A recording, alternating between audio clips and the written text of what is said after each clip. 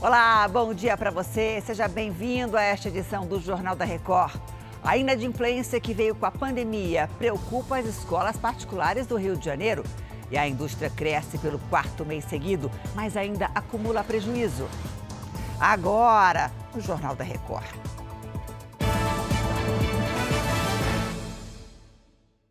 Oferecimento para os desafios do presente, experimente o futuro com o Bradesco.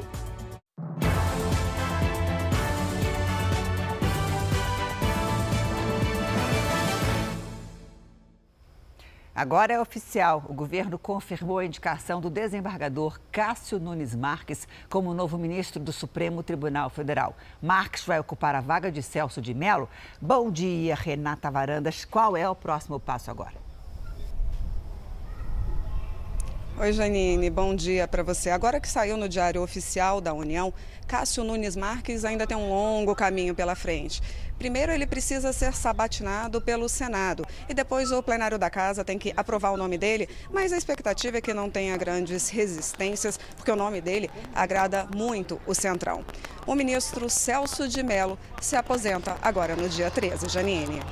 Obrigada, Renata. Olha só, 13 milhões e 500 mil pessoas estavam desempregadas no Brasil na segunda semana de setembro. Na semana anterior, eram 13 milhões. Esse índice subiu para 14,1%. Entre os empregados com carteira assinada, houve uma leve alta. Agora são 82 milhões e 600 mil brasileiros. Esses dados foram divulgados agora há pouco pelo IBGE.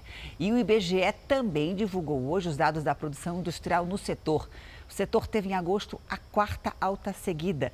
O crescimento foi de 3,2%. A alta é consequência da volta gradual da economia.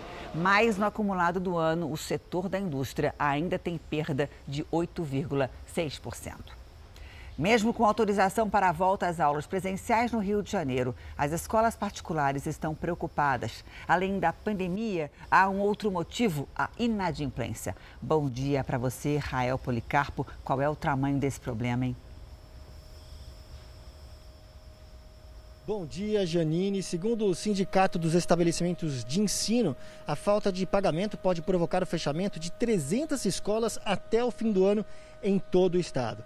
Para se ter uma ideia, as matrículas de 80% dos alunos com até 5 anos foram canceladas.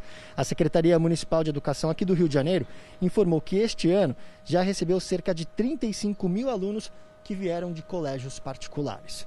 Janine. É, isso não deve ter acontecido só no Rio de Janeiro, não. Obrigada, Rael.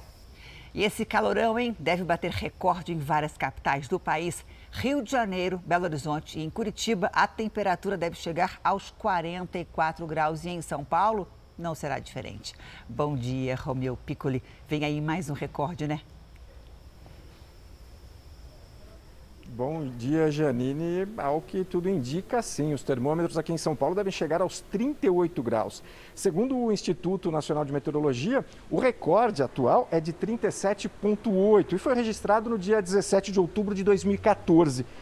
Tem que tomar muita água e usar protetor solar. No fim de semana, o calorão dá uma trégua. Uma frente fria que avança sobre a região sul do país deve derrubar as temperaturas, tanto no sul quanto em algumas capitais do Sudeste. Janine. E aí a saúde tem que aguentar, né? Porque é um tal de sobe e desce, temperatura alta, temperatura baixa. Enfim, vamos tomar muita água para hidratar o corpo. Obrigada, Romeu. Bom trabalho para você. O presidente Donald Trump recebeu o apoio de autoridades e chefes de Estado internacionais depois do anúncio de que ele e a primeira-dama, Melania, testaram positivo para o coronavírus.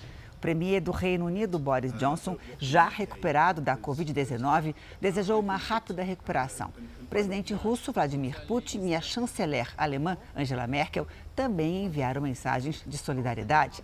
Depois do anúncio, as bolsas europeias começaram o dia em queda. Joe Biden, adversário de Trump nas eleições, fará o teste ainda hoje para saber se está infectado. Chega ao fim essa edição, eu volto logo mais com novas informações do Brasil e também do mundo. Eu espero você. Até lá.